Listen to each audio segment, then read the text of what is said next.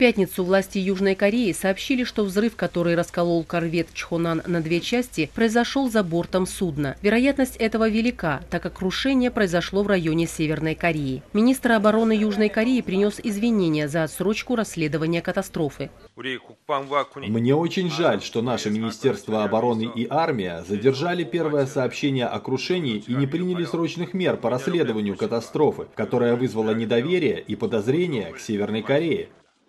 Его заявление о том, что в Чхонан, вероятно, попала торпеда, бросило подозрение на Северную Корею. Министр дал понять, что инцидент мог послужить началом конфликта.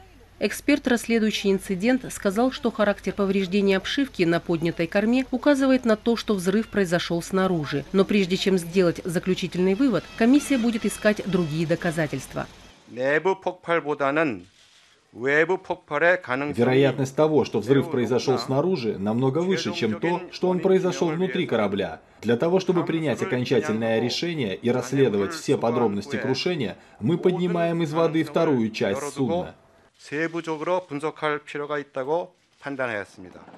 На корме судна, поднятого 15 апреля со дна Желтого моря, обнаружены тела 36 моряков и 46 пропавших без вести. До начала спасательной операции были найдены тела двух моряков, и 58 моряков были спасены. Чтобы найти ключ к разгадке катастрофы, Южная Корея через несколько дней собирается поднять переднюю часть судна.